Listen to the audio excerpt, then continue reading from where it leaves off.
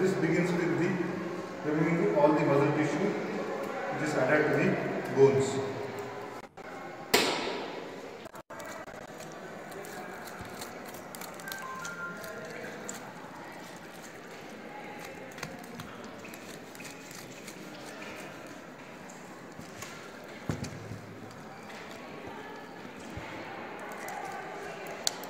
The muscles surrounding the bones should be cleared first.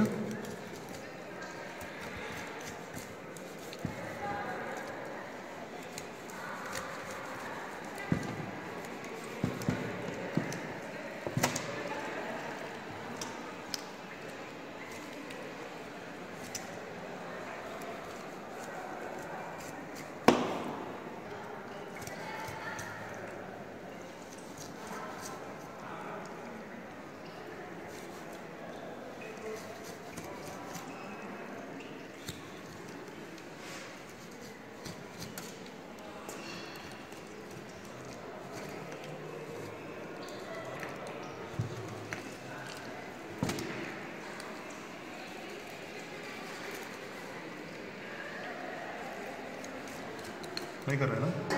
Joints will come to know the articular ends of the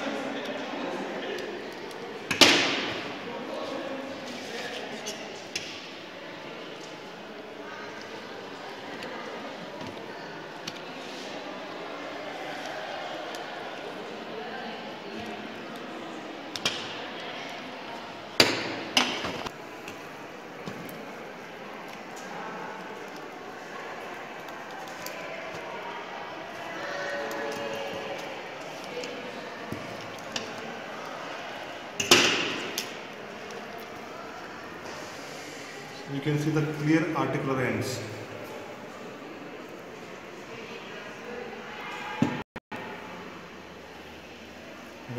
You already cleaned. So next what you have to do, you have to get the bleaching powder that is commonly available in the market. Next you have to put over the uh, tray and you have to add the tap water. Then you have to make the fine paste of it. So to apply over the bone. Paste over the bone. More concentration should be there over the upper end and lower end where the tissue is adhesive. After application you have to dry the bone.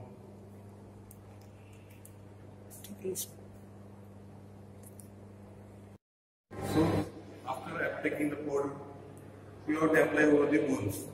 So care should, care should be taken uh, where the part is thin, so there the minimum paste is applied or the paste is not applied or minimum amount of paste is applied. Remaining the upper end and lower, end, the maximum paste is applied.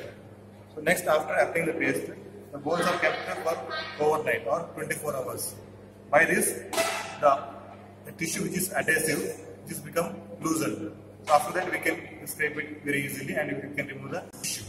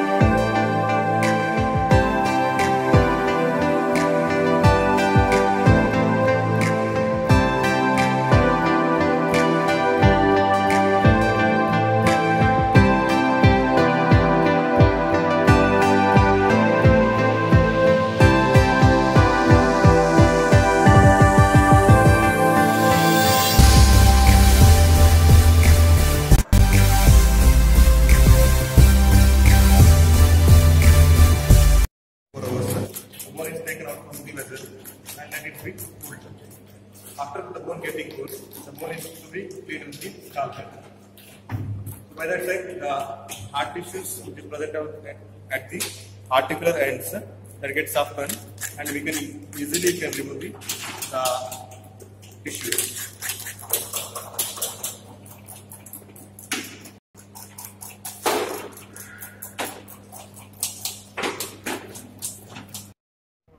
Next we have to dry the bone under sunlight. So here the spinal bones we are tied with the thread to avoid the picking by the birds. So generally what we will make, usually a setup will be made by the mesh. Inside that you have to keep the bone for drying. We have to keep for about 6 to 10 days. So sometimes the oiliness will be come out from the bone. So that time you have to keep the bone inside a sand for about uh, 10, 10 days so that the oil leakage will be uh, removed.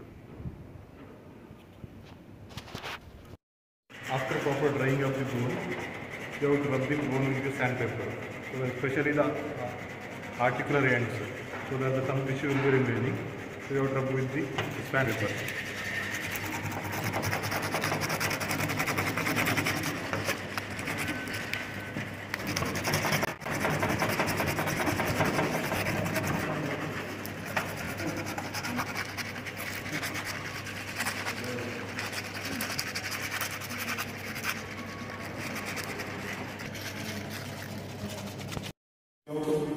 The bone inside the hydrogen peroxide. So around 15 liters of hydrogen peroxide we are taking the container and we are keeping the bone inside that. You have to keep for about one or two days you have to keep. By that the shining of the bone will be increased and wetness also increased.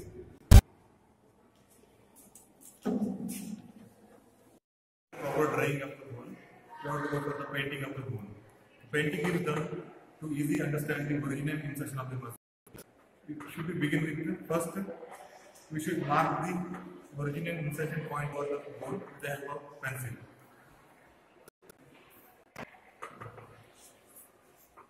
So we are marking the the insertion of deltoid muscle over the deltoid tuberosity.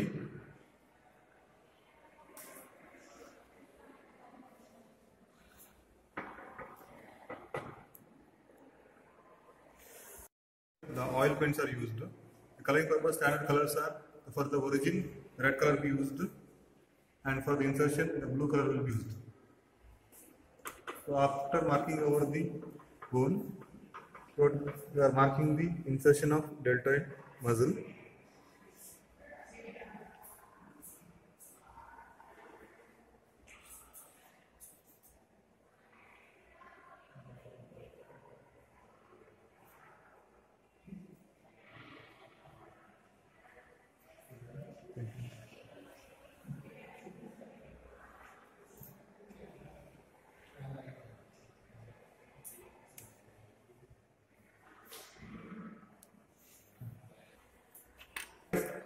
The original insertion of the muscle will be marked over the bone and painting will be done over the whole bone.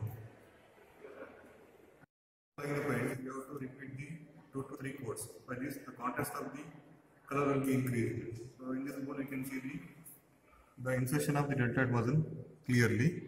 Likewise, the origin and insertion of the many muscles you can see. The origin is colored with red and insertion with the blue color. So after that, we have to keep the bone for drying. After complete drying of the paint, you have to apply the varnish. So varnish is applied to increase the durability of the bone, so that the, uh, for the long term, the bone, uh, the bone will be remaining natural form. So generally, the clear varnish will be used. So in the market, the clear and the brown color varnish be available. For the bone purpose, you have to use the clear varnish. Almost all the bones of the upper and lower extremity were painted the standard colors and we are kept inside the uh, showcase for the benefit of the students.